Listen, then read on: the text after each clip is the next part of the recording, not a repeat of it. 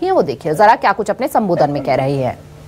जो देश का विकास का चक्का मोदी जी के नेतृत्व में तेज़ी से घूम रहा है, उसमें ग्रोथ इंजन की भूमिका यदि कोई निभा रहा है तो यह मध्य प्रदेश निभा रहा है। उसको आगे बढ़ाने का काम ये मध्य प्रदेश कर रहा है। यह बहुत बड़ी बात बात अब हमारा मध्य प्रदेश बीमारू राज्य नहीं रह गया है।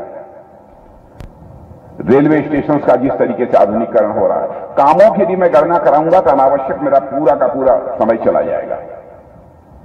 लेकिन एक बात यहाँ के किसानों के लिए मैं कहना चाहता हूँ, क्योंकि मैं भी किसान परिवार का ही हूँ, कोई मैं बहुत बड़ा बाबू नहीं हूँ। कोई मैं राजा महाराजा बड़ा नहीं मैं सामान्य किसान हूँ। किसानों के लिए एक बात जो मुझे अपील करती है, जो यह सरकार करने जा रही है मेरे बहन भाइयों, सवा लाख करोड़ रुपए से सारे देश में सवा लाख करोड़, एक लाख मत मान लीजिएगा सवा लाख करोड़ खर्च करके लगभग 700 से अधिक ऐसे भंडार बनाने जा रही है, गोडाउन जिसे कहते हैं, गोडाउन बनाने जा रही है। वो इसलिए बनाने जा रही है क्योंकि क्यों ही फ़सल पैदा होती है आनंद फानंद कीमत पर किसान उठाकर उसे बेच देता है, क्योंकि उसकी घर की आवश्यकताओं को भी पूरा करना होता है। तो हमारी सरकार ने अब तय किया है कि किसान के सामने यह नौबत न आने पाए। फ़सल पैदा होती है, वह चाहे तो भंडार गृह में उसे रख दे और वहाँ से कुछ पैसा ले ले और अपना घर का खर्च कर चलाए और जब अनाज की कीमत बढ़ जाए, तब ले जाकर उसे वह बाज़ार में बेच दे। इसलिए यह सरकार यह क्षमता का निर्माण सारे देश भर में कर रही है।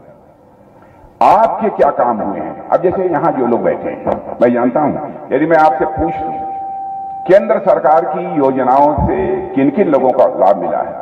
तो मैं दावे के साथ कह सकता हूँ, अधिकांश लोगों को किसी को एक, किसी को दो, किसी को तीन योजनाओं का लाभ तो ज़रूर मिला होगा। किसी किसी को चार चार पाँच पाँच योजनाओं का लाभ मिला है।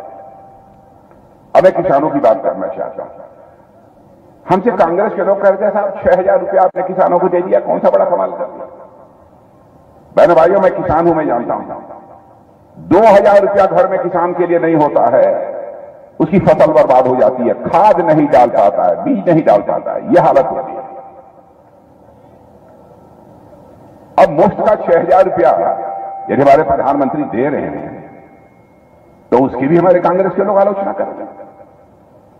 इसका क्या मतलब? बहुत सारी मैं योजना की जानबूझकर चर्चा नहीं कर रहा हूँ। मैं गुजाना शुरू करूँगा तो घंटे भर का समय मेरा इसी चले चला जाएगा। और बहनों भाइयों, जिस तेज़ी से विकास हुआ है, इस हमारे मध्य प्रदेश का और हमारे देश का जिस तेज़ी से विकास हुआ है। मैं एक बात बतलाना चाहता हूँ आपको कि सारी दुनिया में भारत के प्रति तो धारणा ही बदल गई। भारत के प्रति लोगों की धारणा ही बदल गई।